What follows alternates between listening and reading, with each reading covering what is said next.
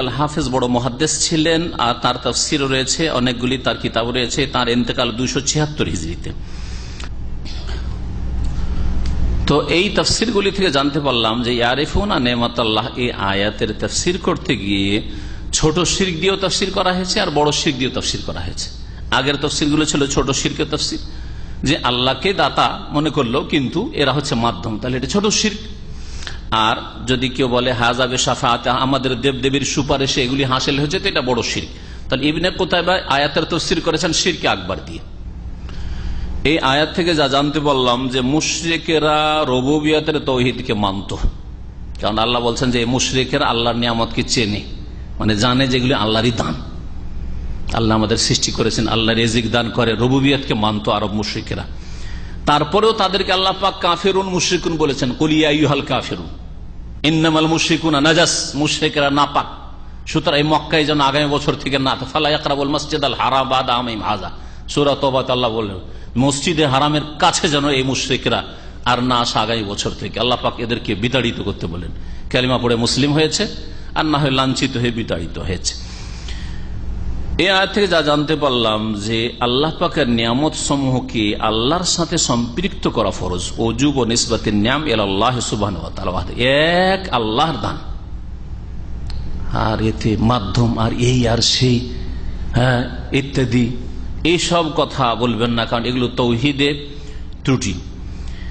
তারপরে আল্লাহ ছাড়া অন্যের সাথে আল্লাহর নিয়ামতকে সম্পৃক্ত করা থেকে সতর্ক করা হয়েছে। কারণ এতে ইমানের খাতরা বিপদ রয়েছে। তাহাজির মিনিসবাতের নিয়াম এলা গাইরুল্লাহ গাইরুল্লাহর সাথে, আল্লাহ ছাড়া অন্যের সাথে আল্লাহ পাকের নিয়ামতকে কখনো সম্পৃক্ত করবেন না, সাবধান। লিয়ান্না শিরকুন ফির রবুবিয়া। কারণ নিয়ামত দান করা এটা আল্লাহর কাজ।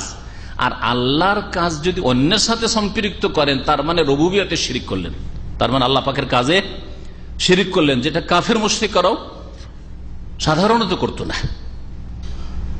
তারপরে আয়াত থেকে জানতে পারলাম যে কথা বলার ক্ষেত্রে আল্লাহ পাকের আদবের খেয়াল রাখা ফরজ। ও যুবত আদফিল আলফাজ, ভাষায় যেন আল্লাহর আদবের খেয়াল থাকে।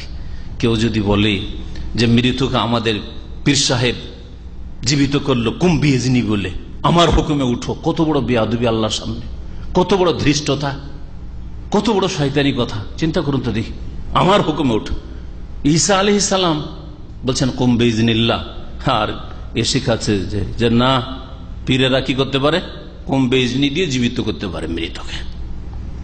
আল্লাহ দিতে চান না, রুহ ফিরিয়ে, আর এরা ফিরিয়ে নিতে পারে। কত বড় বেয়াদবি। এগুলো বেয়াদবি শিরকে আসবে না, এগুলো শিরকে আকবার। ইসলাম থেকে খারিজ হয়ে যাবে। ও তাহারিমুল এতেমাদ আল আসবাব। আর এ আয়াত থেকে জানতে পারলাম যে, দুনিয়ার যে উপায়, উপকরণ রয়েছে, মাধ্যম রয়েছে, প্রত্যেকটা কাজের মাধ্যম রয়েছে। আপনাকে লেখাপড়া করতে হলে মাদ্রাসায় যেতে হবে, স্কুলে যেতে হবে। স্কুল, মাদ্রাসায় যাওয়া মাধ্যম, তাই না? কোন শিক্ষকের কাছে যাওয়া মাধ্যম। এটা কিতাব নিয়ে পড়া কিতাব লাগবে আর ওস্তাদও লাগবে মাধ্যম। কিন্তু আপনি কিতাবের উপর শুধু ভরসা?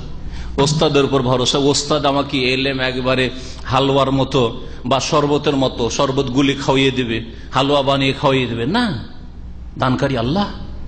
আল্লাহ পাক যাকে ইচ্ছা দেন আর যাকে ইচ্ছা না দেন, যাকে ইচ্ছা কম দেন, যাকে ইচ্ছা বেশি দেন। দাতা আল্লাহ ফাকরবুল আলম তাহলে দুনিয়ার যে সব উপায় উপকরণ রয়েছে, সেগুলির ওপর আস্থা ভরসা করা হারাম। আপনি আপনার চাকরির ভরসা। অধিকাংশ মানুষের এই দুর্বলতা রয়েছে।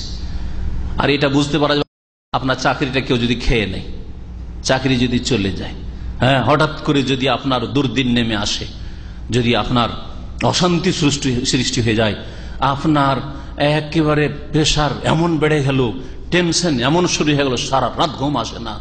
কি করে খাব? আর সংসার কি করে চলবে? আর ছেলে মেয়ের কি করব? কি করে তাদের লেখাপড়া করাবো?